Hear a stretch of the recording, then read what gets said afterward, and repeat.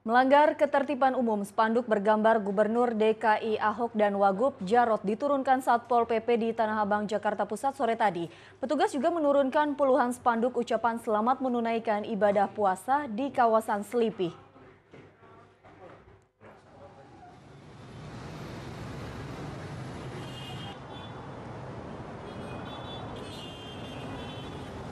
Spanduk berukuran sedang ini diturunkan karena tidak berizin dan melanggar perda ketertiban umum.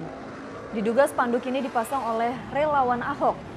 Selain menertibkan spanduk kampanye, petugas juga menurunkan paksa puluhan spanduk ucapan puasa yang terpasang di atas jembatan penyeberangan orang di kawasan Selipi hingga Gatot Subroto.